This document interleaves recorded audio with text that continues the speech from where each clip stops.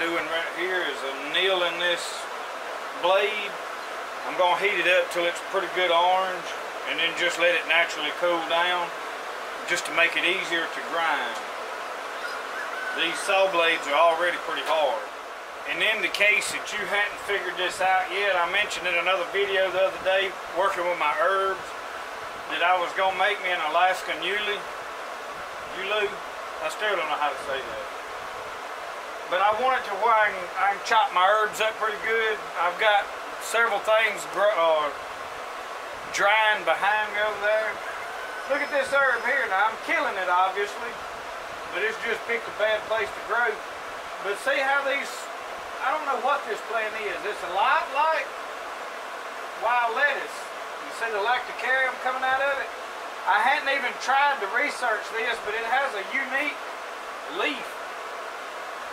I'm gonna lay this over here where, because while this is running, it's gonna burn that up and kill it. But there is some, uh, where did I see them? I seen a lot of bugs on it. Right up through here on one of these leaves somewhere. But now they'll probably leave once this fire gets to going. But it's seeding out at the end of these. Somebody tell me what that plant is. Because it's got lactucarium coming out of it.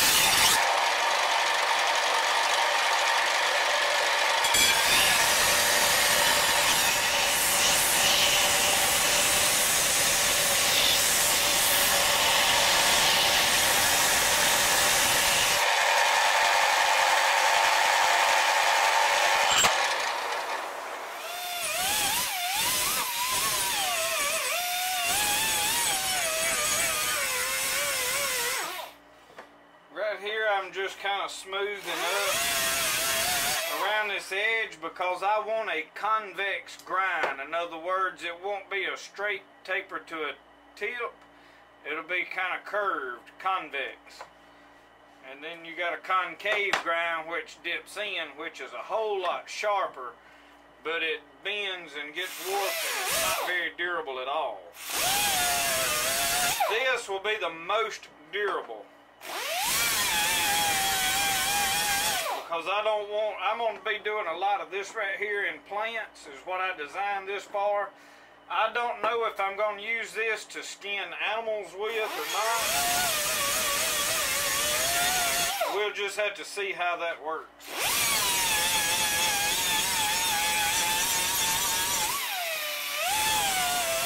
I've never had a knife like this, so this is new to me.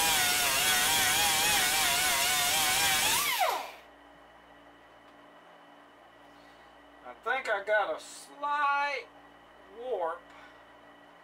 I mean, it is ever so slight. Not enough for me to worry about.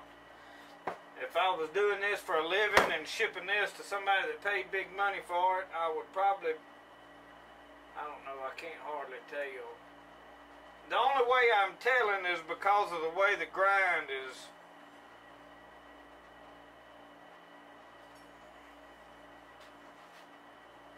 I don't know that you guys can tell. Maybe, maybe not. It's not much.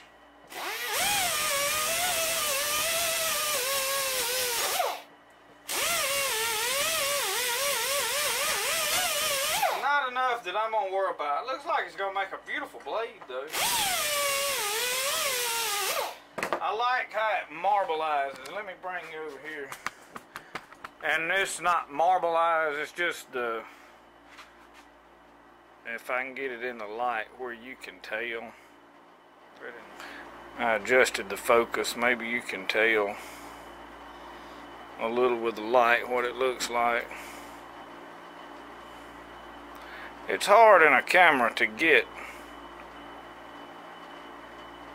And you can see better when I put the footage on the computer, but me looking at this viewfinder, it's hard to tell. And if there's any warpage,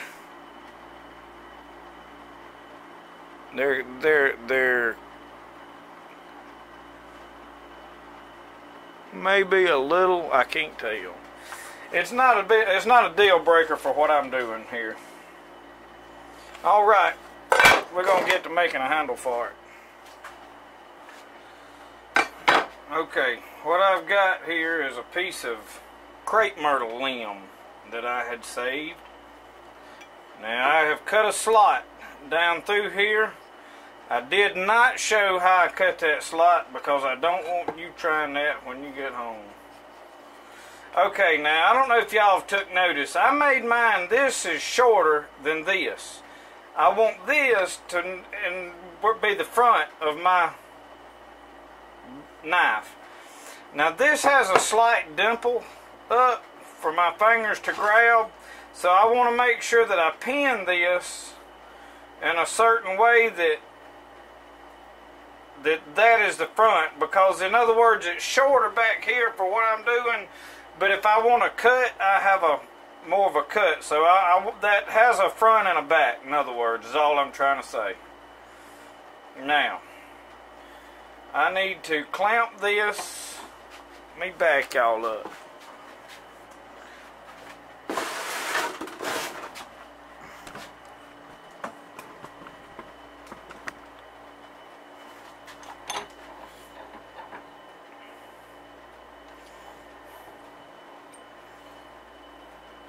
I probably should epoxy this.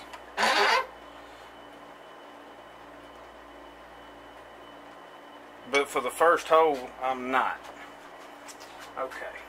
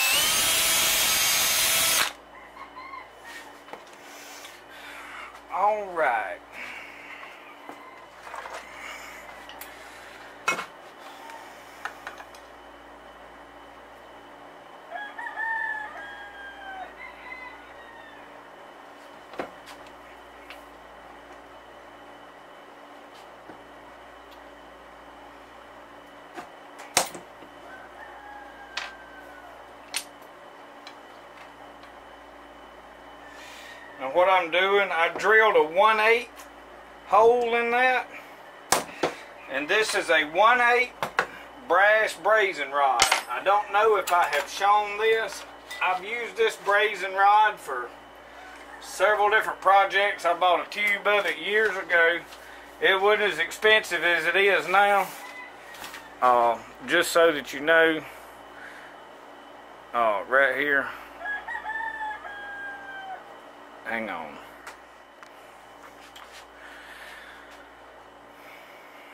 Anyway, I can't get the the camera to focus, but it's 1 8 by 36. Uh, low fuming bronze. It's just a good soft rod. Works well for pinning these handles. Uh, most everybody uses an epoxy. Uh, in theory, you're supposed to.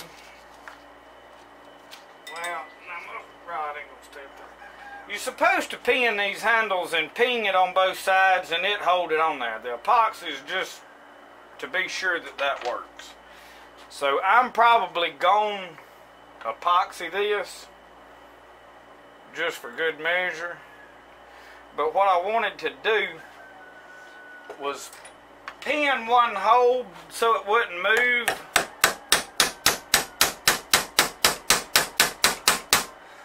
While I drilled the other hole, and I can get my pliers and pull that back out. And that's the only reason. Once I get both holes drilled, I may should epoxy it now. I'm trying to decide what I want to do. And I really don't want to epoxy it at all. I don't think I am. I think I'm going to attempt to just put it together.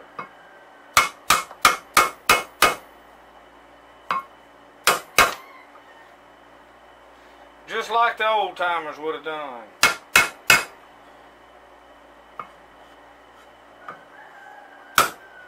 We get too dependent on glues and all that stuff to the point that if it gets to a place that we can't get a hold of that stuff, now what I'm doing here, I've got a little bit protruding on either side. I don't know if you can tell, but there's a 16th of an inch sticking out on either side. I'm going to peen that and it'll, and see on this steel plate, I don't know if you've seen, I've got a half inch or a 3 8 steel plate laying there.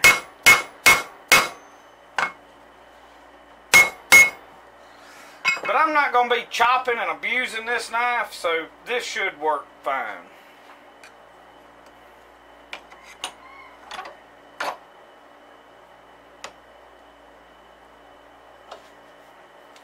If I was going to be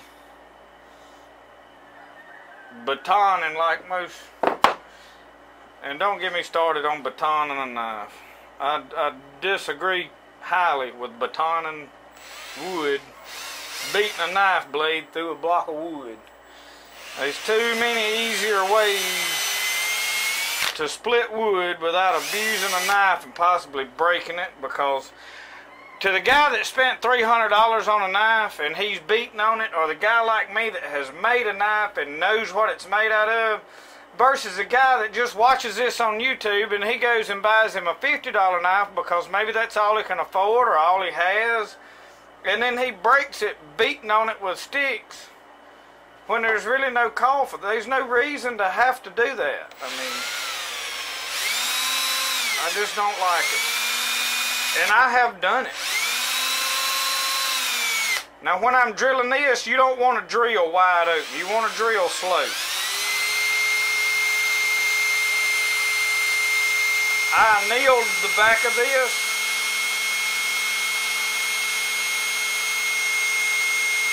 Let me finish this and I'll tell you.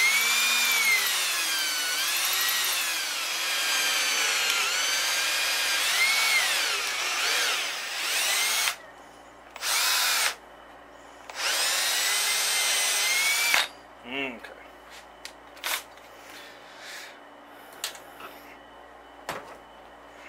Okay.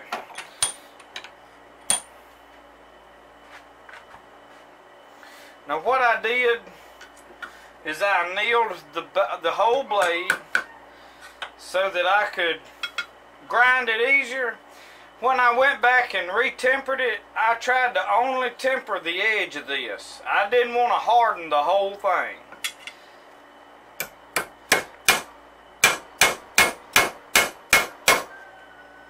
And it hits right there. There's about of an eighth of an inch sticking up. So what I do is I get over this, one of these holes in this block. I don't know if you can see them or not. Yeah, you can. You can see that hole. I put my pin over that and drive it about halfway through. Like I said, where it's sticking out on both sides, and then I'm going then I'm gonna swell that up. And that will hold and see that is secure. Guys, we got a knife made just that quick. Just that quick.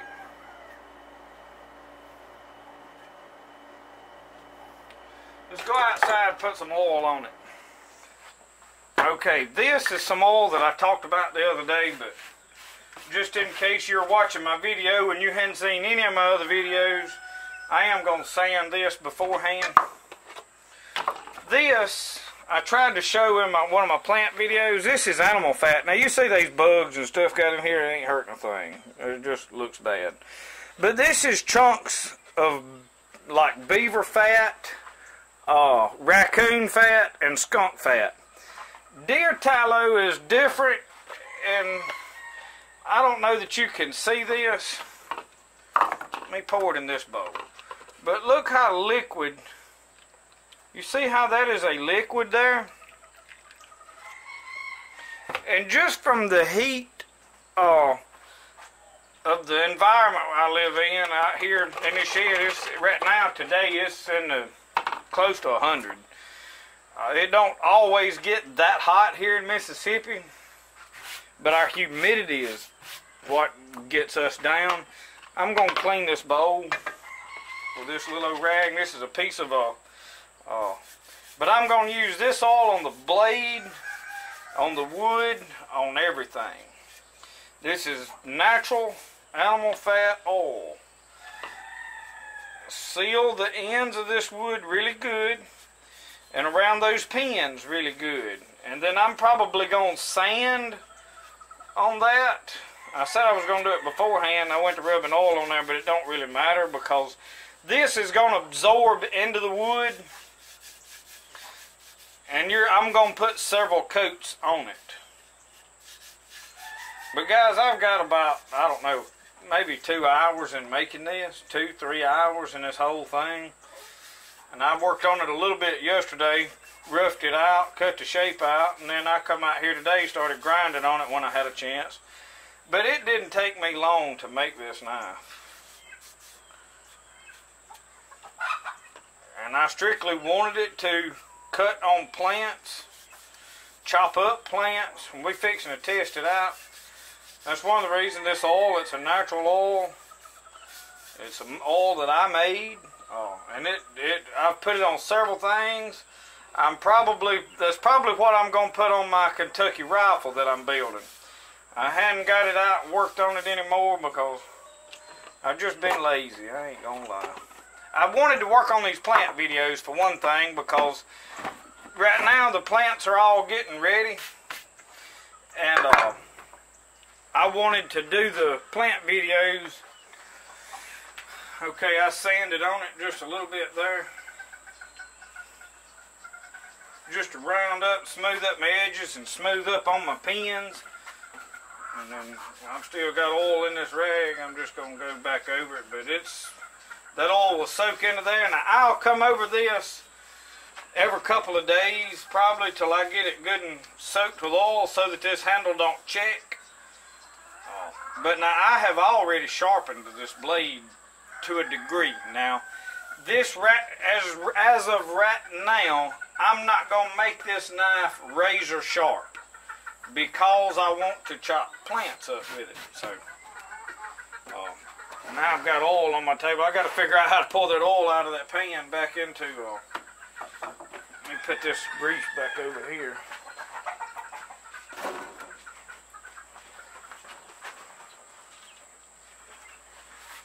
use this. It's got a little bit of a.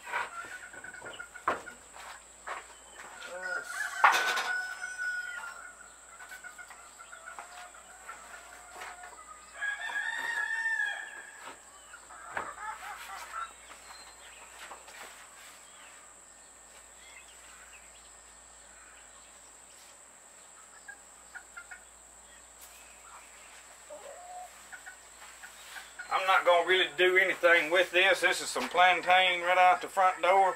But now that I'm chopping it up, I'm probably going to dry it and use it as one of my herbs the... Now a lot of times I take this in that barrel and dunk it.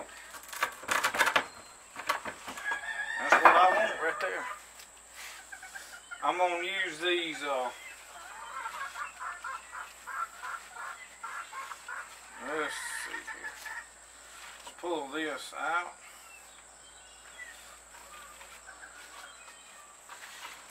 And let's do this.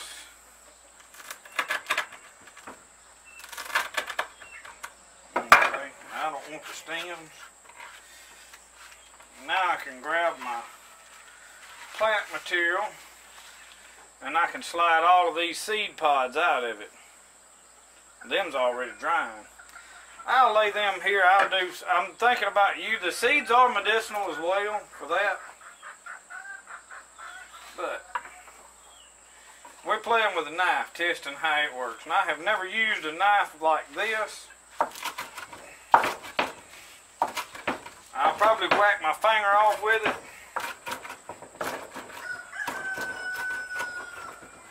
Guys, I like that now. I'll be honest with you, if you hadn't used a knife like this, mm, I may have to take this into the kitchen. it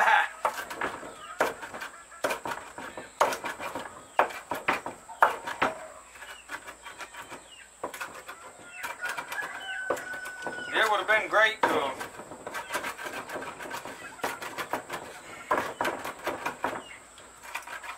And I'll get a better cutting board for this.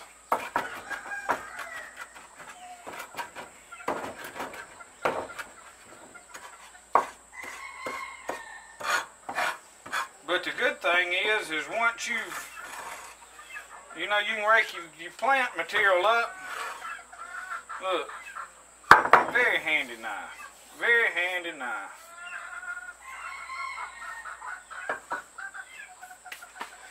Alright, we'll do like we did on summer fishing. I'll let y'all get the, uh, move my lens cap. Instagram picture. We have to clean up some of the junk that gets left in the, out of the photos. I know people wonder, how you making pictures? There's junk all right outside the screenshot, so.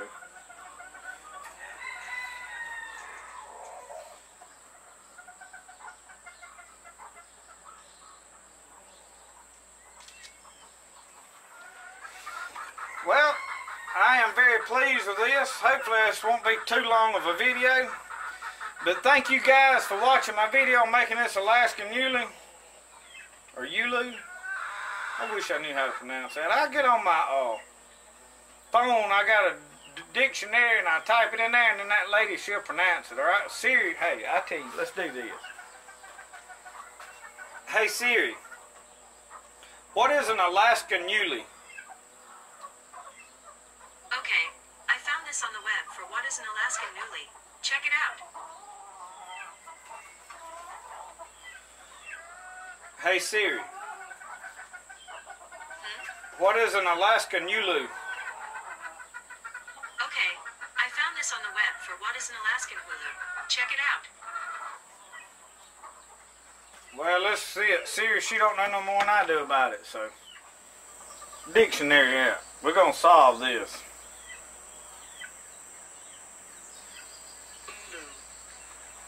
It is pronounced Ulu. Not Yulu or Yuli. It is Ulu. Dictionary app. iPhone answers it. Solves all problems. So it's an Alaskan Ulu. But anyway, works good. I'm pleased with it. Thank y'all for watching. We'll see y'all next time on Spirit of the Outdoors.